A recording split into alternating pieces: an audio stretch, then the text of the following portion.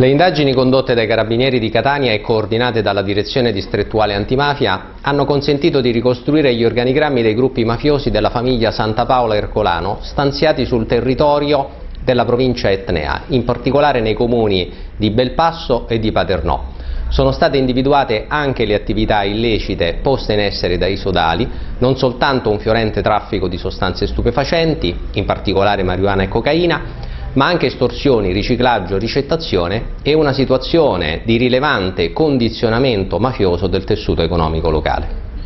Tra gli elementi di vertice dell'associazione è stato identificato anche un soggetto il quale, benché condannato all'ergastolo per duplice omicidio, mafia e traffico di droga e detenuto presso il carcere di Rossano in Calabria, approfittava delle giornate di permesso premio per ritornare nel suo paese d'origine, Paternò, dove nel corso di veri e propri summit mafiosi continuava ad impartire ordini e direttive per la gestione degli affari del clan.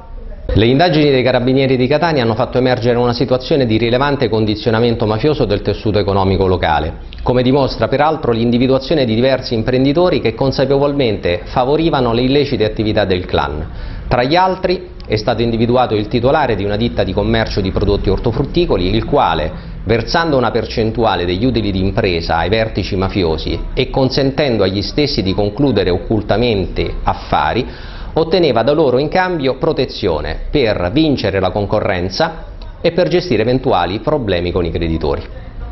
Tra gli imprenditori che favorivano l'organizzazione mafiosa anche il proprietario di importanti gioiellerie, il quale consentiva allo stesso capoclan di operare compravendite in contanti di diamanti, orologi, gioielli, lingotti d'oro senza alcuna rendicontazione fiscale, consentendo in questo modo di occultare l'illecita provenienza delle somme di denaro.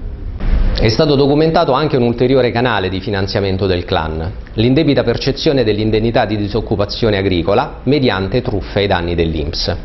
Grazie a una rete di ditte compiacenti, consulenti del lavoro disponibili e soggetti che si prestavano a figurare falsamente quali braccianti agricoli, l'organizzazione predisponeva tutta la documentazione necessaria ed inoltrava all'Inps le domande per l'indennità. I falsi braccianti agricoli, una volta percepito l'emolumento, dovevano versarne poi una quota alle casse del gruppo mafioso, con un doppio effetto negativo e distorsivo, poiché da un lato il denaro pubblico finiva per arricchire i sodali e per finanziare le altre attività illecite, dall'altro ne accresceva anche il consenso sociale sul territorio, dato che i soggetti disponibili a figurare quali falsi e braccianti agricoli potevano trattenere una parte delle somme indebitamente ricevute senza aver mai svolto alcuna attività lavorativa.